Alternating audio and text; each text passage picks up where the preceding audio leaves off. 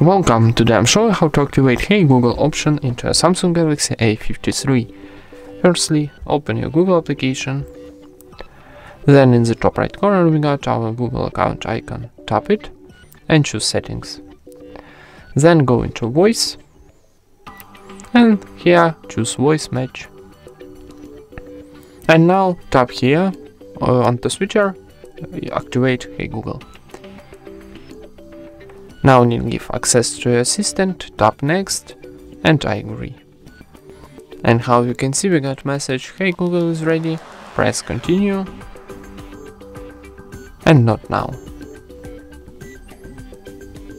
And that's it. Thank you for watching, leave thumbs ups and subscribe to our channel.